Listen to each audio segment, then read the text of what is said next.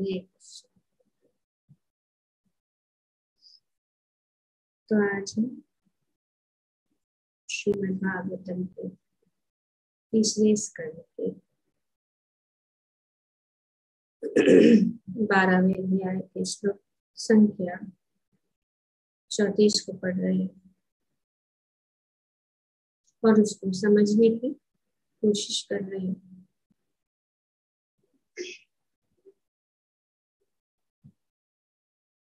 तो यहाँ पे ब्रह्मा जी के प्रसंग के बाद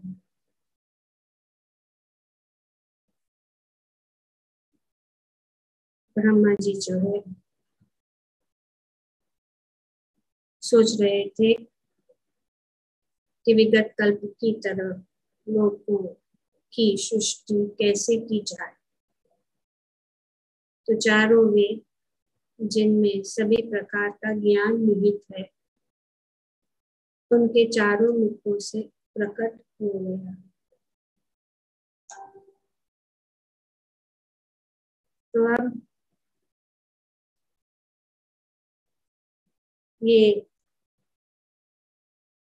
प्रसंग को यहीं पे विराम देते हुए श्री मैत्री आगे बताते हैं कि ब्रह्मा जी ने क्या किया? पिछले श्लोक में बताया गया कि अपने समस्त प्रजापति पुत्रों को इस प्रकार बोलते देखकर समस्त प्रजापतियों के पिता ब्रह्मा अत्यधिक लज्जित हुए और तुरंत ही उन्होंने अपने द्वार, द्वारा धारण किया इस शरीर को त्याग दिया। प्रश्न होता है।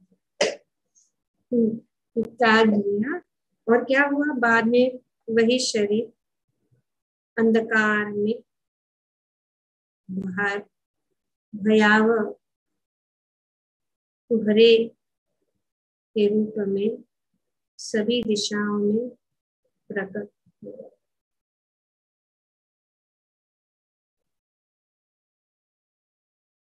तो एक तो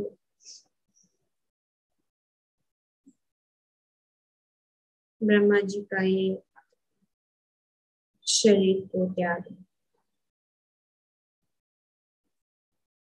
तो ये क्या है?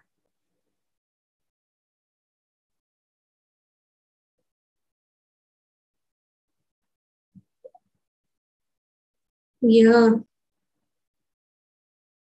नियम कि जब कोई घोर पाप में कार्य करता। है तो अपने शरीर को तुरंत त्याग देगा ब्रह्मा जी अपने उदाहरण से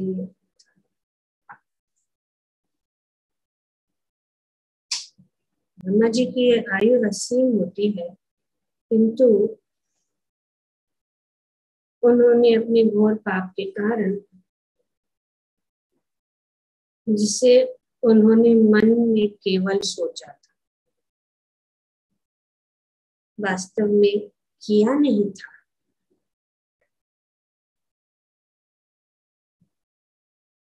अपना शरीर त्यागना। तो ये शरीर जो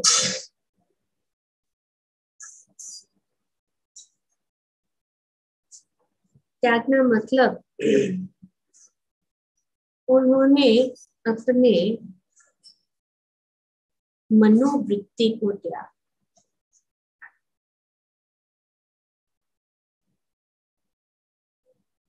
gave up his mentality, क्योंकि ये मन में जो बात थी, उन्होंने तुरंत उसको दिया। उसको जो है यहाँ पर जाए अज्ञान की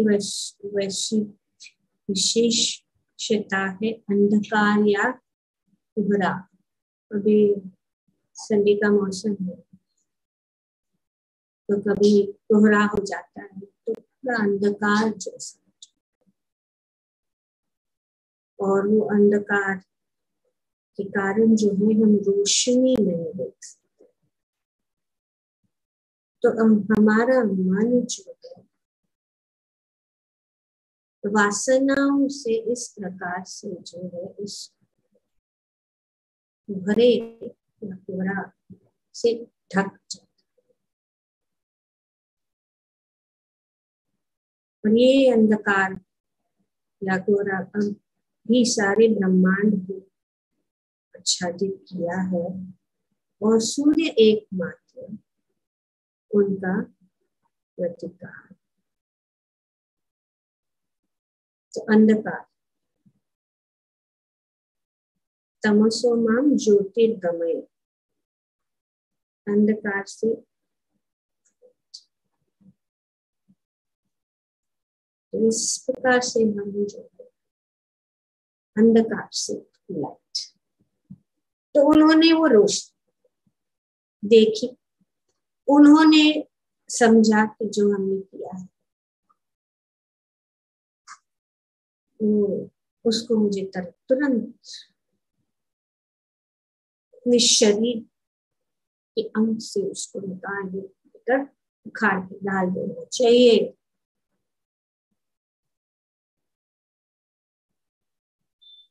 पापा जी कहते हैं कि जो व्यक्ति नित्य प्रकाश रूप भगवान ब्रह्मा जी भगवान के परम भक्त है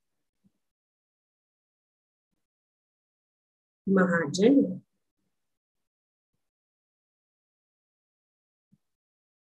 तो भक्त का क्या उद्देश्य होता है कि भगवान की शरण में रहते हैं और भगवान की शरण ग्रहण करते हैं और भगवान उनको सुरक्षित करते हैं। अगर उन्होंने शरीर त्याग भी दिया तो भगवान तुरंत उनको रीइंस्टेट करते और उनका कार्य शुरू तो अगर कभी भक्त भी अपने पद से गिर जाए तो भगवान उनकी रक्षा करते हैं और भगवान उनको फिर से okay start with your work उन्होंने अपना कार्य तुरंत शुरू कर दिया। वो यहाँ पे वर्णन किया गया सृष्टि का, जो भगवान के द्वारा उनको जो है, ये सौंपा गया ये कार्य उनकी ओर से वे कर रहे हैं और इस बीच में, क्योंकि वे भौतिक जगत के संपर्क में है तो स्वाभाविक है। किसी को भी और हमें ये शिक्षण भी है। जो व्यक्ति नित्य प्रकाश रूप भगवान की शरण ग्रहण करता है, उसे पूरे या अज्ञान के अंधकार में विलोप होने का भय नहीं ऐसा दिखता है बाहर से। और कभी कभी ऐसे स्पर्श हो जाता इस भौतिक जगत की जो जो अनर्थ है, कोई नहीं बच सकता उससे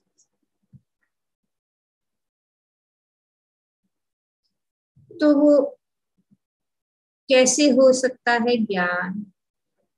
अभी यहाँ पे वेद का ज्ञान प्रकट हो। सब कुछ हमारे हृदय में है तो हम ये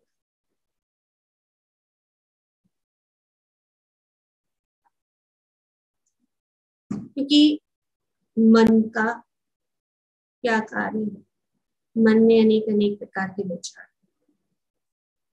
और सोच थिंकिंग थिंकिंग फीलिंग और फिर विलिंग तभी उनका थिंकिंग पे ही रुक गया क्योंकि उन्होंने अपना जो बुद्धि इंटेलिजेंस बुद्धि का अर्थ है कि वो मन को के ऊपर ध्यान रखें। थिंकिंग फीलिंग विलिंग बुद्धि जो है थिंकिंग फीलिंग जब हो जाता है तो उनको acting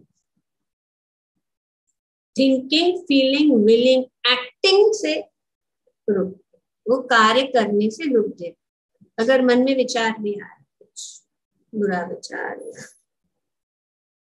काम वासना। तो लेकिन बुद्धि जो है ये जो विचार और ये जो आ, सोच और ये इच्छा को वो प्रत्यक्ष रूप से करने से रोक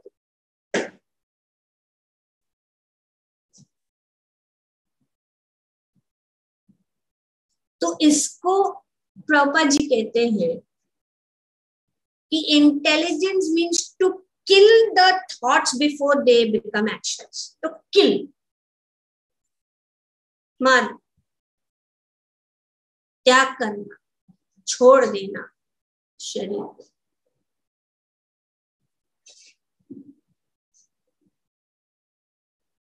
और ये जो है, कैसे आता है? इंटेलेक्ट को शार्प करने से इंटेलेक्चुअल कन्विक्शन और ये इंटेलेक्चुअल कन्विक्शन के लिए ये जो बुद्धि दृढ़ है और बुद्धि जब दृढ़ है, तब हम अपने आप को इन सबसे रोका सकते और ये तब होता है जब हम भगवान के संपर्क में जैसे कि यहाँ पे बताया कि भगवान को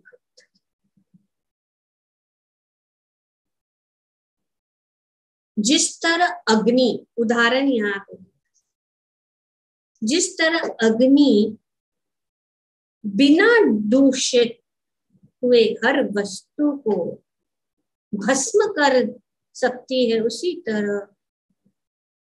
भगवत कृपा से ब्रह्मा की महानता रूपी अग्नि के अग्नि ने अपने पुत्री के साथ पाप पूर्ण, यौनाचार की उचित इच्छा को भस्म कर दिया। तो ये भस्म कर दिया। किसने? ब्रह्मा की महानता मतलब ब्रह्मा जी की भक्ति। महात्मा, महाजन, कौन है? वो जो उच्चतर श्रेणी के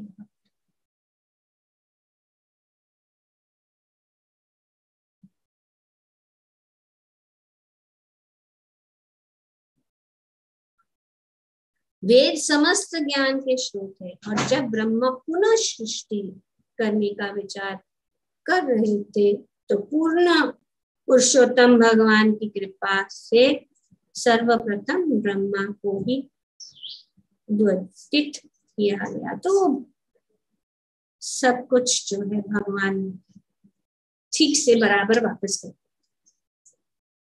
उनका कार्य है भगवत कृपा क्योंकि भगवान अपनी भगवत भक्ति के कारण शक्तिशाली है।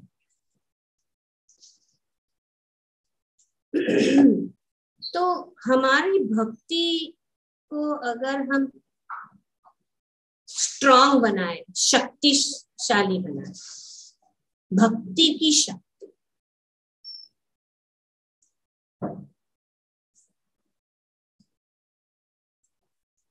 तो भक्ति की शक्ति से अगर हम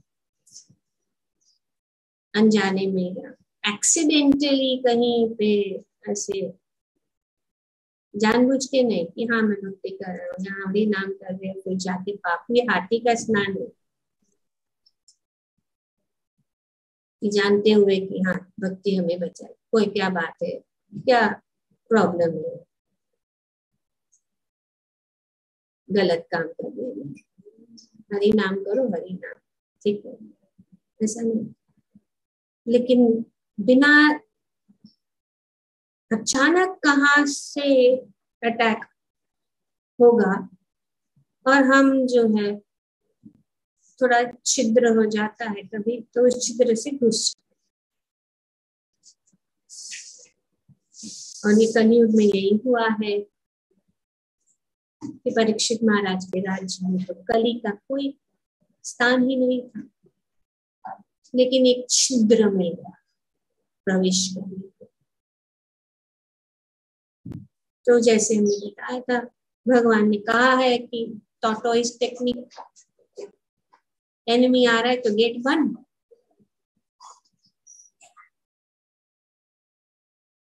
तब जो नहीं, घुस सकता है।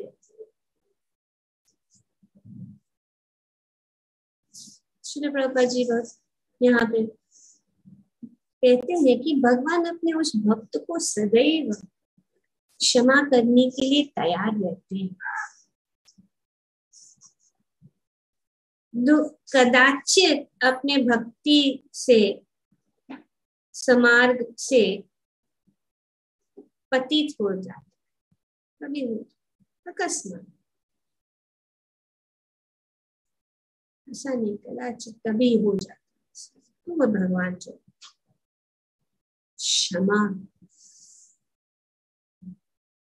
भगवान दयालु।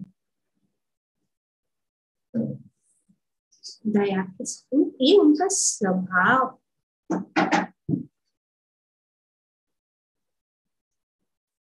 तो महान भक्त का तो ये छोटी जो गलतियाँ हो जाती है, जैसे माता पिता अपने बच्चों की छोटी गलतियों को ज़्यादा ध्यान नहीं देते क्षमा कर और उनको प्रोत्साहित करते हैं कि अपना कार्य करते हैं भगवान के शरण में रहो, भगवान की भक्ति करो, भगवान तो भक्तों को क्या? भगवान तो असुरों को भी क्षमा तैयार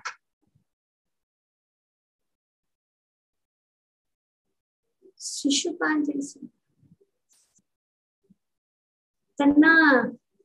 भगवान के विरोध इतना इतनी इतना हर बार भगवान उनके सौ अपराधों को सह देते हैं क्षमा करने के लिए। भगवान चेतावनी भी देते कि जो देखो तुम अपने सीमा से बाहर जाओ।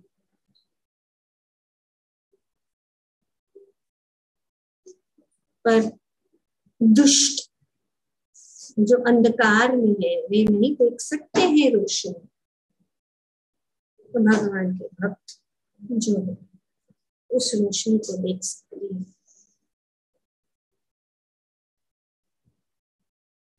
श्रीमद भागवतम से सुंदर श्लोक में बता दिया कि किस प्रकार से भक्त भगवान जो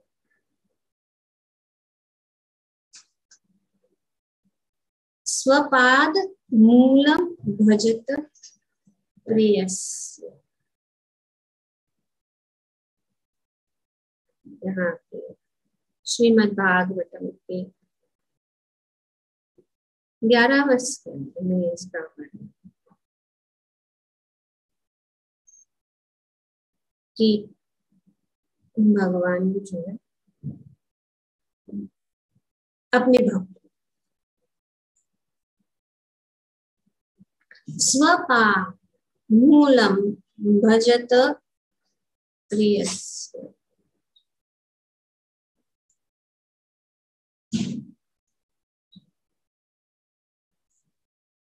भक्तों के स्वपाद मूलम मतलब भक्तों के शरण, कृष्ण के चरण कमल। भजत पूजा में लगा हुआ, जो भक्त भगवान के पद कमलों के पूजा में, वे भगवान के अति प्रिय प्रिय प्रिय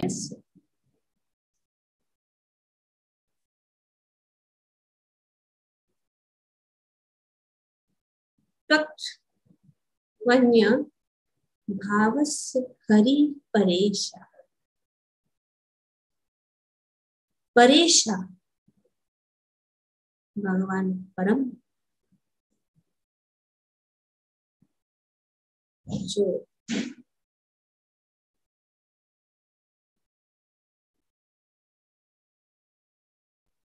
भगवान का स्वभाव हरि। पर परम ईश्वर। भगवान। विकर्म।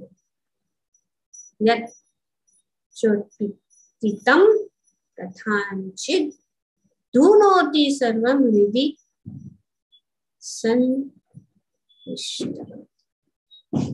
जिस मनुष्य ने अन्य सारे कार्यकलापों को त्याग कर भगवान हरि के चरण कमलों की पूजा शरण ग्रहण कर लिए वह भगवान के अत्यंत प्रिय है।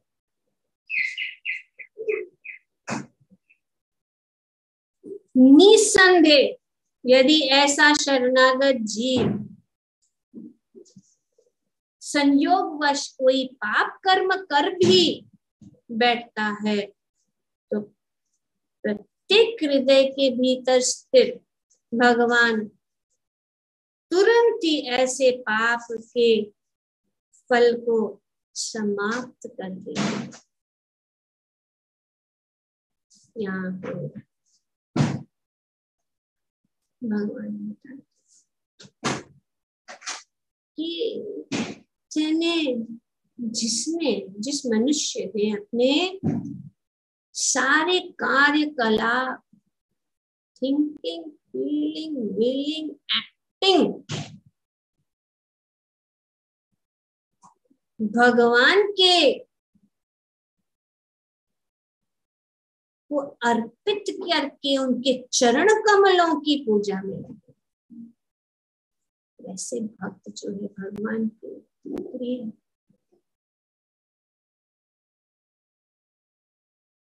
तो भक्त को कोई डर नहीं, अभय।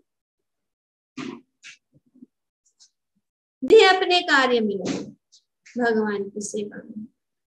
पर क्योंकि ये भौतिक जगत में खतरा ही खतरा है, विपद ही विपद है। पद पद में विपद है। तो कभी भी भक्त भी उसमें फंस सकता है।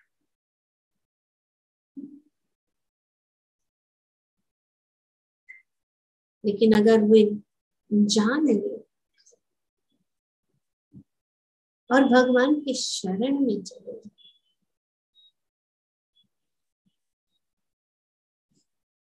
और भगवान को प्रार्थना करें, जैसे सूरदास करते हैं।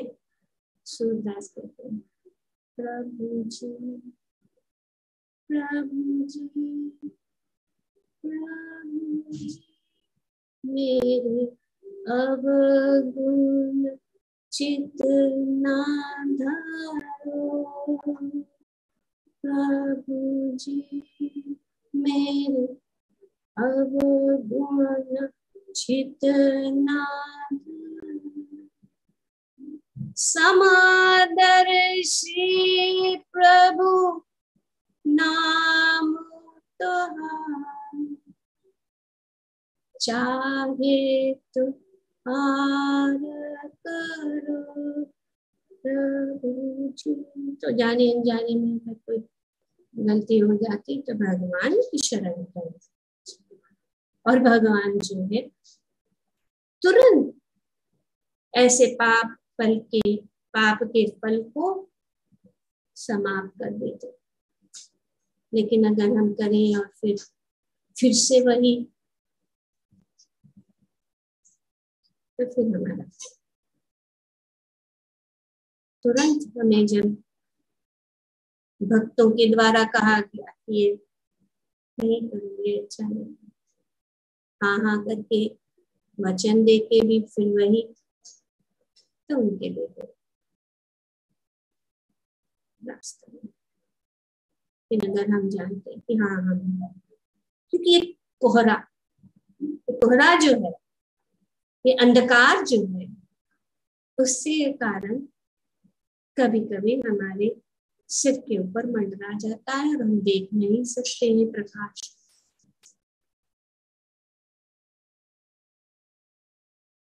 जब तक कोई हमें बताए नहीं, जैसे कि यहाँ पे ब्रह्मा जी के पुत्रों के द्वारा उन्होंने उनको कहा, उन्होंने प्रार्थना की कि उनको बुद्धि प्रदान करे, उनको बुद्धि दे ताकि वे देख सके। और इसीलिए भक्त जो है प्रार्थना करते सबके लिए कि उनको बुद्धि प्रदान तो भक्ति इतनी शुद्ध तथा शक्तिशाली है कि भगवत भक्ति को किसी अन्य प्रकार की शुद्धि नहीं करनी पड़ती। थी भक्त को कोई दूसरा कोई शुद्ध भगवत भक्ति ही शुद्ध है। अगर कुछ गलती हो जाए तो भी भगवत भक्ति में ही रहना ज़रूरी है। भगवत भक्ति को छोड़ना नहीं है। अपने भजन को छोड़ना नहीं है। अपने हरि नाम, अपने जप को नहीं छोड़ना है हमें। और भी गहराई से डीपली भगवान के चरण को पकड़ के रखना ज़रूरी, क्योंकि वही उपाय है। The means and the end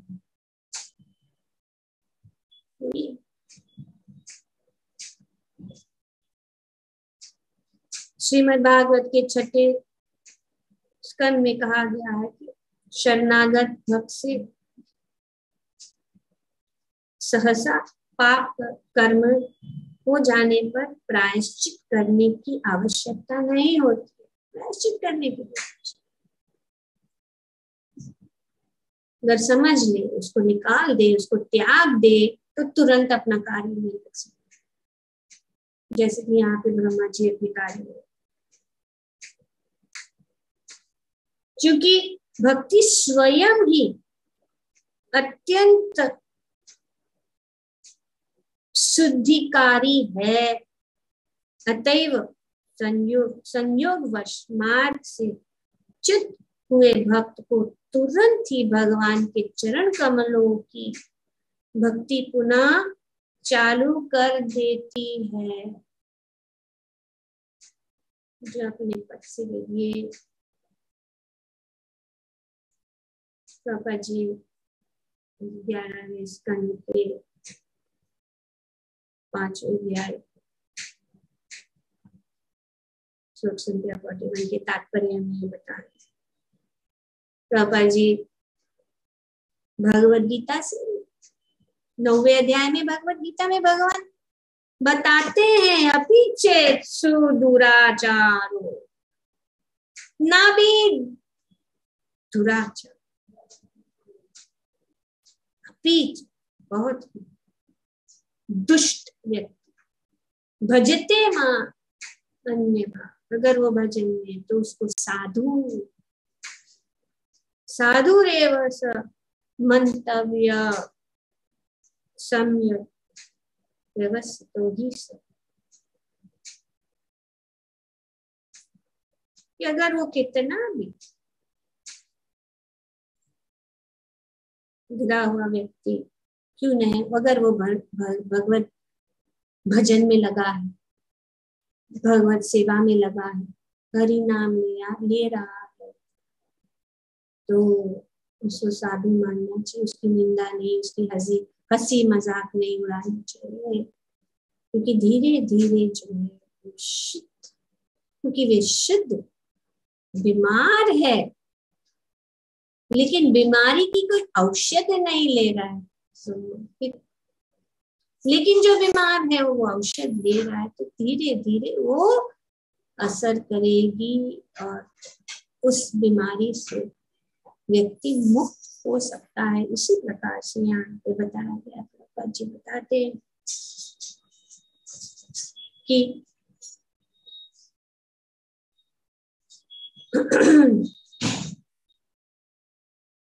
अगर किसी कारणवश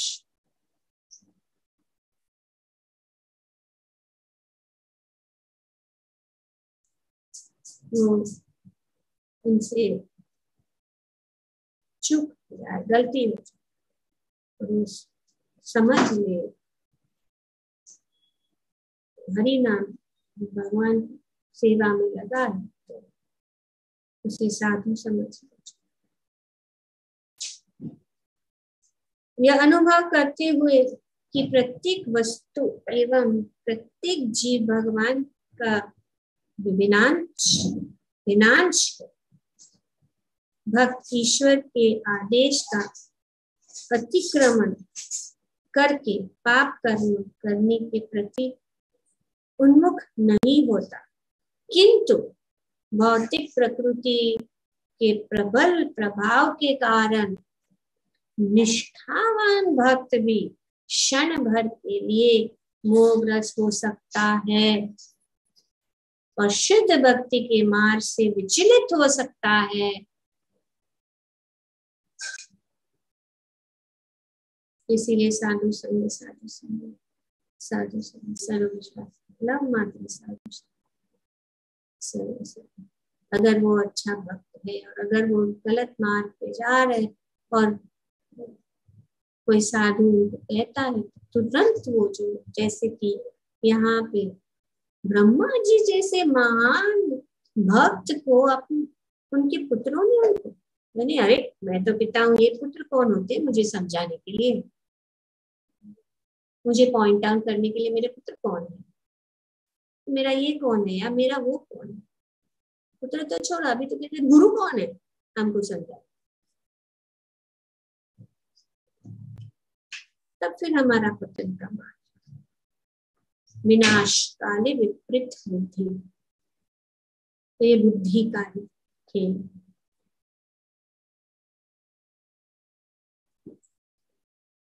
भौतिक प्रकृति के प्रबल प्रभाव के कारण निष्ठावान भक्त क्षण भर के लिए मोहग्रस्त हो सकता है और शुद्ध भक्ति के मार्ग से विचलित हो सकता है।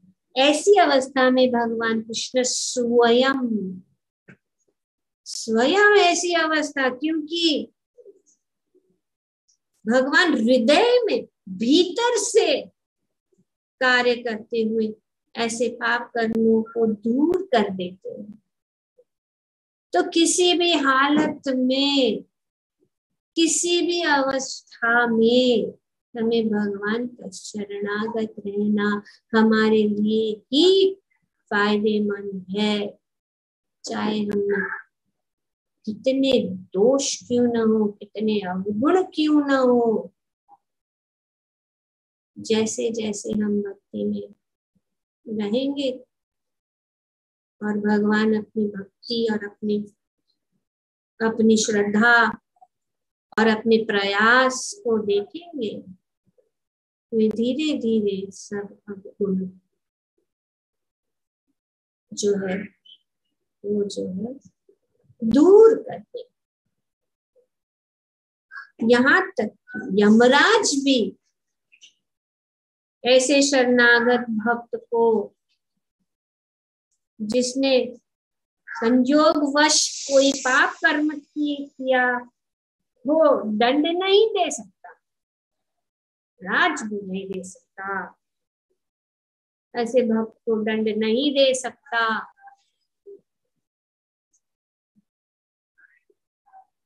जिसने भगवान की शरणागत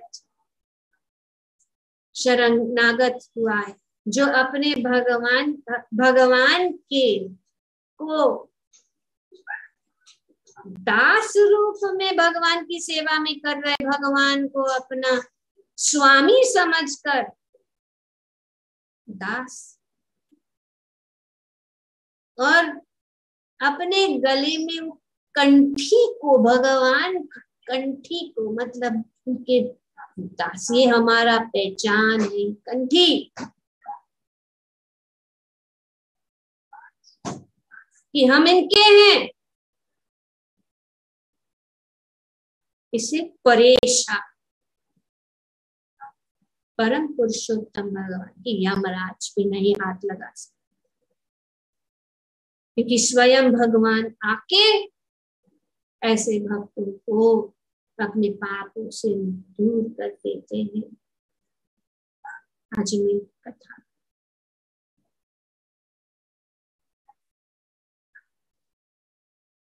तो यहाँ तक यमराज भी ऐसे शरणागत भक्त को जिसने कोई पाप कर्म किया हो, दंड नहीं दे सकते तो हमें हमें कोई हक नहीं है। किसी को दंड देने के तो यमराज को भी नहीं है तो भक्तों को क्या दंड दे सकते लेकिन अगर भक्त दूसरों को डिस्टर्ब कर रहा है तो उनको प्रेम से कहना ज़रूरी है कि आप ऐसा करो। थोड़ी देर के लिए अपने आप को दूर रखो। अपने आप को अंदर से भगवान की, के भजन में ध्यान करो और अपने भगवान के शरणागत होकर भगवान की कृपा प्राप्त करो। तो ये कार्य सिर्फ़ गुरु या काउंसिलर का हमें हमें नहीं।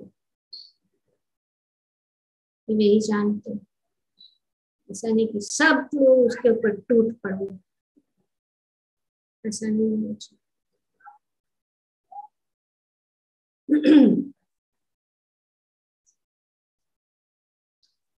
क्यों? क्योंकि भगवान जो है, दूर करते हैं। जैसे कि यहाँ पर कहा गया है कि वे परेश है। परेश, अतः देवता जैसे गौन, ये गौन है। सेकेंडरी स्वामी, भगवान के निजी भक्तों को डरा, धमका नहीं सकते।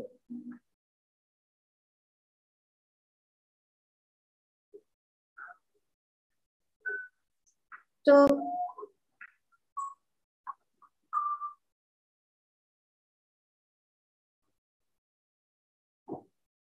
श्रद्धावान भक्त, क्रमशः।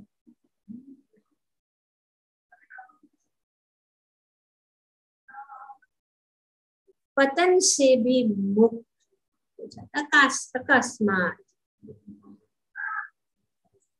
क्योंकि भगवान के चरण कमलों के शरण मात्र से उनका हृदय शुद्ध हो जाता भगवान की वास्तविक भक्ति का तो कहना ही, क्या भगवान के चरण कमलों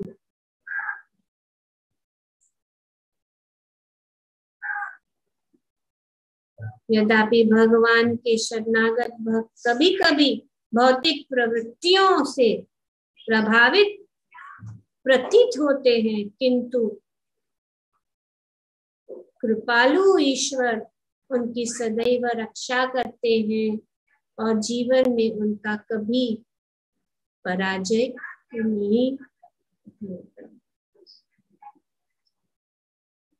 तो यहाँ पे पता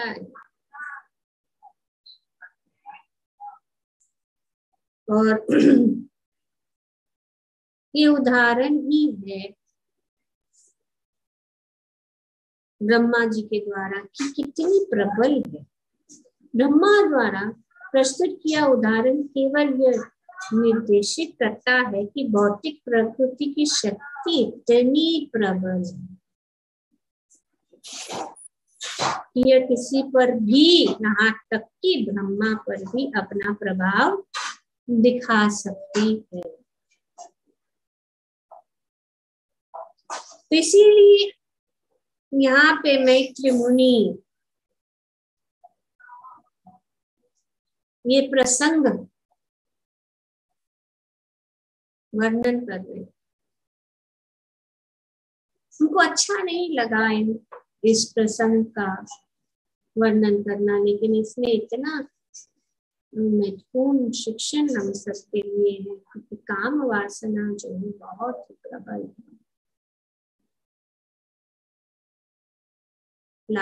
प्रतिष्ठा, ख्याति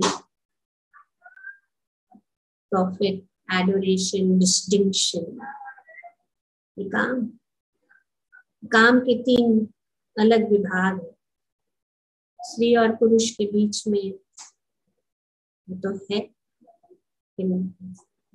ढका हुआ जो हम पहचान नहीं पाएँगे ये, ये